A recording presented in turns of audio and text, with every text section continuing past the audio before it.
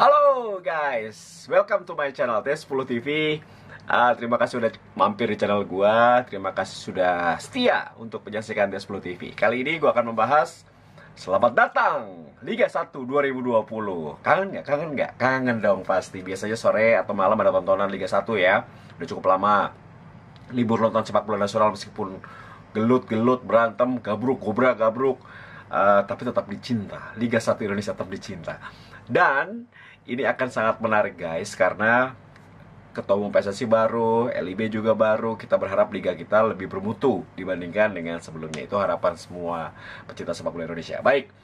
Di episode kali ini atau vlog kali ini gue akan membahas Liga 1 2020.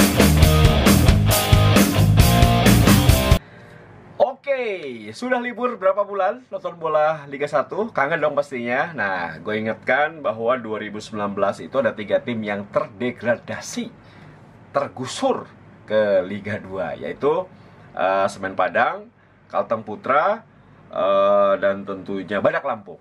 Jadi tiga tim ini akan berjuang di Liga 2 musim 2020. Nah, masihkah jagoan kalian ada di Liga 1?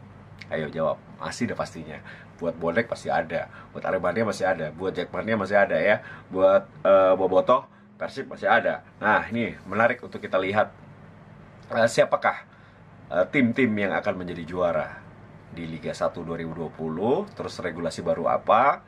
Terus pergantian apa yang membuat akan terjadi persaingan yang berbeda di musim ini? Nah ini guys. Kalau boleh gue akan mereview sedikit ya. Jadi uh, untuk teman-teman yang mungkin baru ingin mengikuti Liga 1 ini ada tiga tim yang akan menjadi penghuni baru dari uh, Liga 2 musim lalu yaitu promosi Pertama adalah Persiraja Banda Aceh, kemudian Persita Tangerang, yang ketiga adalah Persi Kediri. Jadi tiga tim ini yang akan menjadi tiga tim baru dalam kancah persepak bolaan nasional di Liga 1 atau kasta tertinggi sepak bola kita, Liga 1 2020. Oke, apakah mereka akan uh, mampu bersaing? Nah, ini menarik karena sebetulnya yang diharapkan oleh PSSI dan juga orang-orang untuk naik adalah Sriwijaya dan Mitra Kukar. Tapi yang naik justru Perse, uh, Persiraja dan juga Persi Kediri. Nah, apakah ini sebuah kecelakaan ataukah emang ini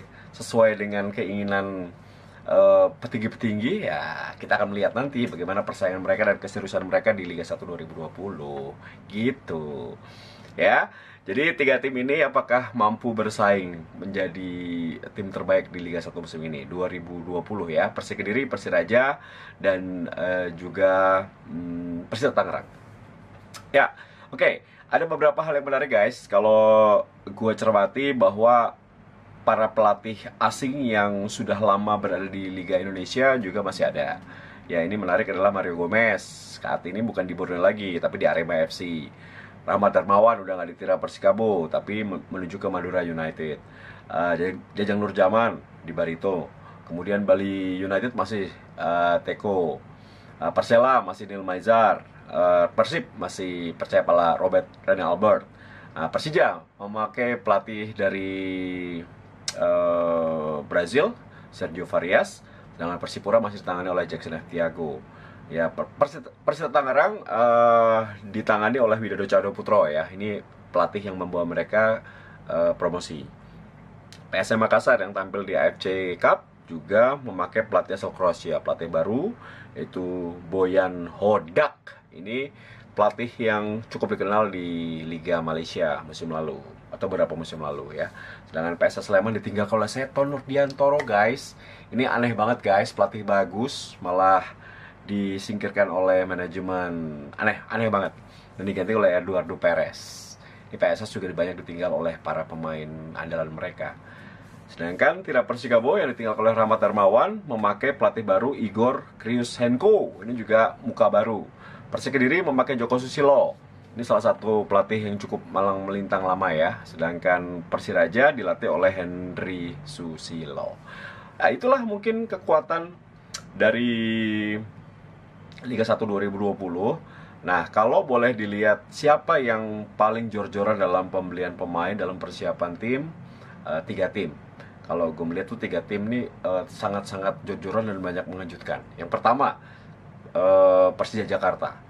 Kenapa? Karena Persija mengambil Mark Rock dari PSM, Marco Mota, pemain Itali, uh, dan juga uh, kita lihat Persija itu uh, mempertahankan Simic dan juga Rohichan. Ini penting banget ya, karena uh, Persija tahu betul apa kekurangan mereka di musim lalu dan mereka menambalnya dengan sangat sempurna. Kemudian uh, gue melihat bahwa Bayangkara FC ini memanggil uh, mengambil King Eze, Ezekiel Duasol dari Persib ini menjadi satu hal yang cukup fantastis.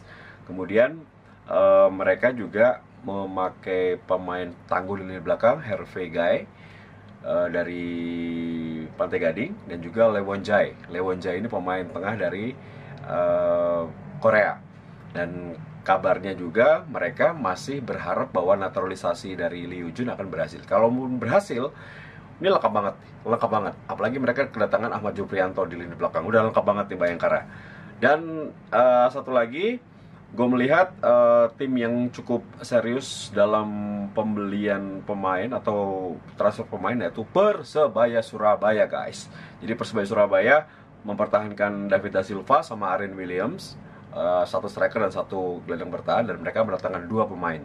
Yang satu adalah Mahmud Eid dan juga Makan Konate. Jadi uh, cukup serius dalam merekrut pemain di bursa transfer ini.